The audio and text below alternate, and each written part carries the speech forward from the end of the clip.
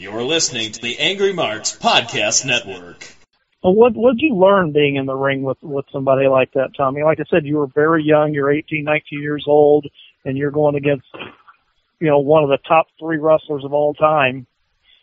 Brother, I mean, it just that's why that's why I graduated so fast and picked it up so quick because I got to wrestle with the best of the best. You know, uh, and Harley Race had a lot to do with that belt getting put on me. You know, uh, you know, I mean, uh, so I mean, you take him. I mean, there's different aspects of it. Uh, I mean, Abdullah Butcher, I learned a lot from him. Uh, a lot of fire. You had that fire with Abdullah. Uh, Harley Race taught me to be a technician. Uh, you know, Jerry Jarrett taught me how to sail in Tennessee, you know, and that was my big asset. I knew how to sail and I knew how to fire, you know, and that's something they had never seen in Georgia. They just see, uh, big guys like Dirty Dick Slater, Bob Orton Jr. You know, I used to go to Chattanooga TV for Nick Gulas, and after, after, uh, TV, we'd go eat lunch at his, uh, cousin or somebody's Greek restaurant. They had, uh, Georgia Championship Wrestling on there live. And, uh, I to think, you know, I mean, I'd make the big guy being 18 and wrestling. But I thought if I ever got to go to Georgia, that I that I'll be made. And, and to come to Georgia and have the guys take an interest and teach me, you know, I was a young kid in a man's world, you know. Uh, Absolutely. You know, so, and they took an interest in me and, and, uh, they taught me everything I knew and, and give me everything I got. And, uh, you know, I was yes or no, sir, and I respected it. Until this day, I respect it. And I think, uh, this today wrestling, uh, they need to know some of their roots. I don't care if they respect me or not, but respect the men who pioneered this business for us. You know, that's what I think. This is the Undisputed Wrestling Show. We have the great pleasure of speaking to Tommy Wildfire Rich this evening. Tommy, I'm going to tag into my uh, partner, tag team partner, the bearded wonder himself, Zane Pasley. You're in the ring with Tommy Wildfire Rich. Well, Tommy, thank you so much uh, for coming on uh, this evening with us. I, I had the pleasure of meeting you. Oh, it was quite a few years back, probably about 15 years back, uh, in Indianapolis, Indiana, at a little uh, uh, low promotion that was called NWA Indy um, which has now been replaced by NWA Circle uh, City. But uh, very nice to meet you then, and thank you so much for coming on the show tonight. Well, thank y'all for having me, man. I'm sorry I missed y'all when I was supposed to be there, but you never know. See, y'all just throwing in surprises to the folks, so that's a good thing too.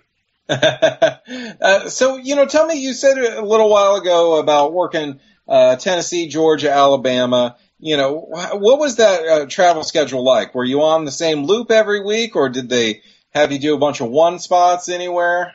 Oh no, sir. That's what it, I mean. When it was territories, you did like like the Georgia territory.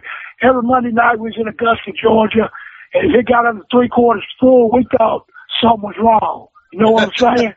week in, week out. You know, two weeks a year we was there. Uh, you know, try to do that today. Uh, Tuesday was in Macon, Georgia. Wednesday we went to Columbus, Georgia. On Thursday, the market wasn't big enough. Uh, so we go to Athens on Thursday, one Thursday, and then we go to Rome on the next Thursday. Then Friday we did Atlanta City Auditorium. Then Saturday we do Atlanta TV, jump in the car, um, with your tights on, hit McDonald's drive-through and haul butt to, uh, Columbus TV because it was live at two. So you had to haul butt to get there and then we'd go somewhere and work that night. And then we had Sunday off and then when they see Sundays would draw, uh, then we did Sundays too, and then they said they could get two shows out of Sunday. They do two shows on Sunday. So we're drafting, you know, 10, 12 times a week. Uh, who was your favorite uh, writing partner uh, during those times? My favorite what? Who was your favorite driving partner at that time? Uh, shoot, I don't know, man. I had, God, I had, I mean, I went with Wahoo. Wahoo was great. Uh, Ricky Markel, I had a lot of fun with him. Uh, I mean, Stan Hansen, he couldn't drive very good because he can't see very well. Right. But I, you know, I just, uh, you know, so I did most of that driving, but, but anyway, I had no license since I took pictures on, so you know how long it's been since I drove. was was there any uh, of your writing partners that did anything weird or played any crazy music or anything uh, uh, while while you're on the road so often? Oh, we played a few practical jokes. Uh, I mean, uh, I don't know nothing I want to get into. I can't, I can't, we was in, we was in Columbus, Ohio, and I told Ole Anderson, when I was first going to Ohio, wife was pregnant with my first kid. And, uh, I told him I wanted a dog, and he said, well, no. He said, you're in a cage match with Buzz. He said, I'll put you on in the middle of the show. I said, well, you do what you want. They got a 10 o'clock flight out, and I'm going to be on it. Well, needless to say, he told me, oh, God, he used that DD word all the time. And boy, you know, I delivered all seven mine. He said, if he ain't going to deliver it tonight, I said, well, see what you just said? You said you was there because you delivered all seven years. I don't count on delivering mine. I don't send to do it, but I am going to be there. Uh-huh. So anyway, that's the first time I ever bowled up at Ole. I mean, he was so slap out. Um, anyway, he ended up putting me on the middle of the show, and uh, he's going to put Roddy Piper on last. And Roddy got in the bus with him, got fired, so he catch it TNT and going back too. So did you make it then? You know, yeah, we made it. Roddy Piper did too. yeah, but I mean that's just uh, you know, I mean I I could tell you some crazy stories, but um, the Undisputed Wrestling Channel radio show. That's my wife. If anybody wants to know, she was asking me who I'm speaking to. She pretty nosy still today. well, tell her we said hello. Um, so hey, they said hello, baby. so hello, you, baby. She said hello. you you moved on to Memphis and had some wild times there. Uh, that's uh, that's uh, you were uh, kind of helping out Jerry Lawler there, right? Well, I dropped him some money.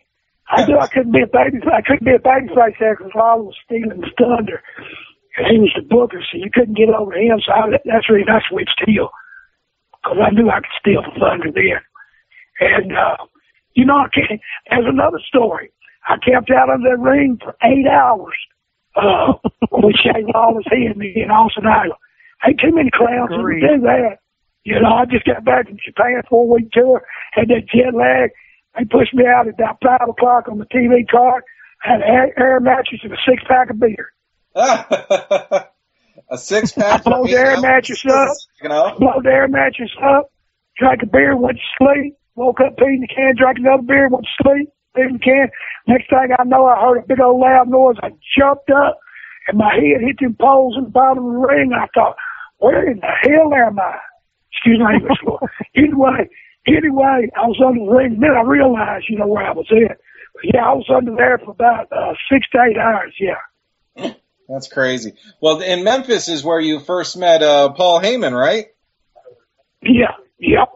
Sure was.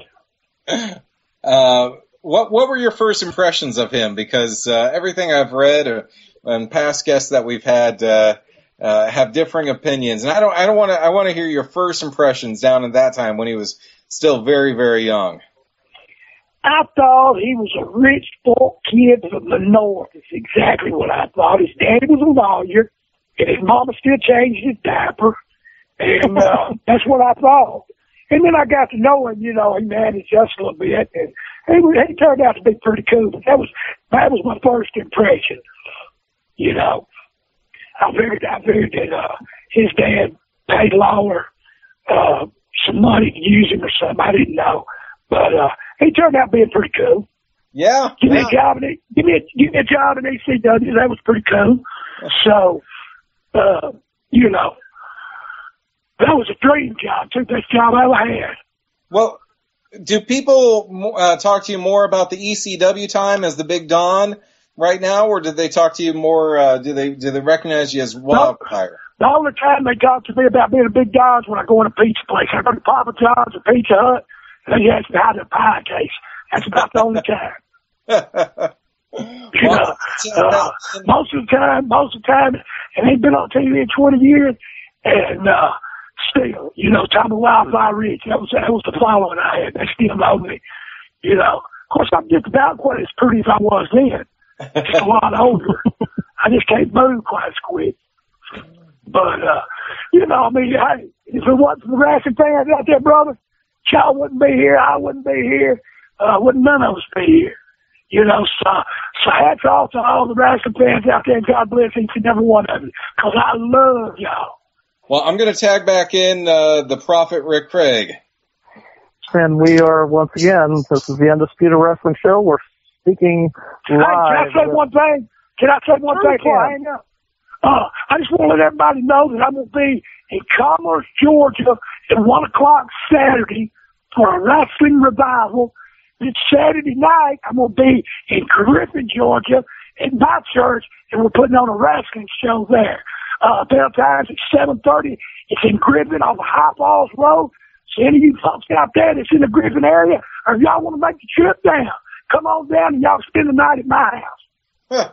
Oh, that's awesome. My wife- what what my wife great don't invitation that is. My wife, people. my wife don't even cuss. She just said a bad word. But y'all come on. As Freddie Miller would say, don't miss it. Be there.